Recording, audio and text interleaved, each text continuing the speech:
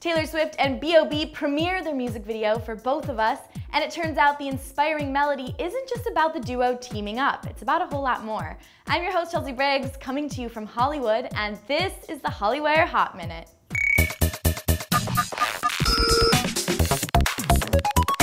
So it was pretty much a dream come true when it was first announced that these two talents would be teaming up. And it turns out their music video delivers a pretty awesome message. Take a look. If it's all for one and one for all, then maybe one day we all could ball. Do it one time for the underdogs. Sincerely yours from one of y'all. I wish I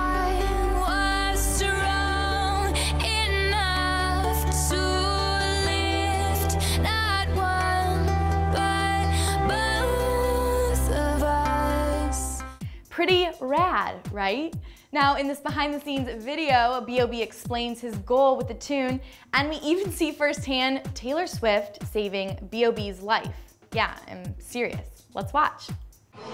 It's not even a song. It's more like a project. You know, this is bigger than just than just B.O.B. and Taylor Swift. You know, this is about this is this is about all walks of life, uh, all classes of society.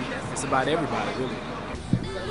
There's a spider that's really big. That's a giant spider. It just it, it, it looked like a bird. You know, it was that big. How big was it? It was this big. Oh my god!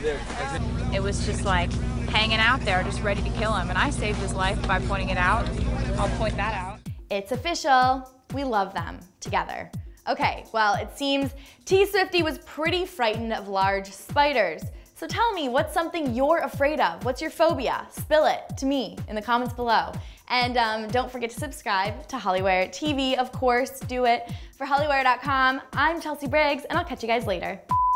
Chelsea, what are you afraid of? What am I afraid of? I don't really like spiders either. At all.